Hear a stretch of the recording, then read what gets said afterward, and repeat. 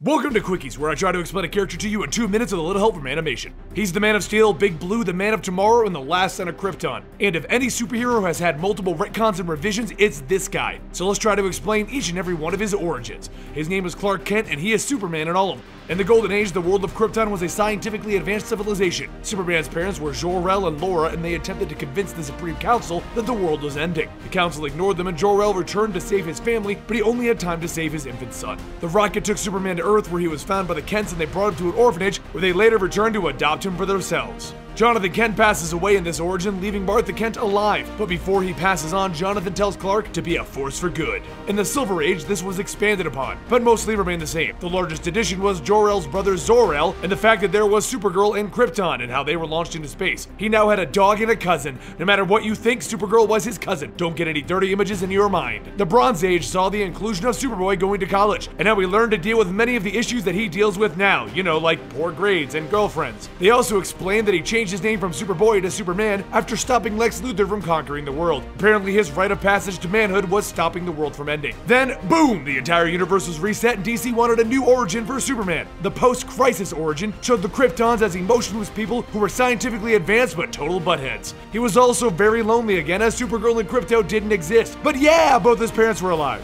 And Lex Luthor no longer wanted to conquer the world, instead he was a shady businessman who hated Superman for telling everyone that. Then we had the Birthright origin. and this one, Krypton was a paradise, and Clark Kent and Lex Luthor were super buddies in Smallville before they became enemies. They based this one on the Smallville TV show. Then we had the Secret origin, which added the whole Legion of Superheroes back into the story. Then boom! DC decided to redo all of it again with the New 52. They got rid of Lex and Clark being friends, no career as Superboy, and they kept in the Legion of Superheroes. Also, they were gonna go to the Phantom Zone as a family, but the evil bad guys in there stopped that from happening. Both his parents are dead in this version, and he became famous after stopping Brainiac. And that's it, that's the quick and dirty version of all of the changes in the Superman origins. Which origin did you like the most?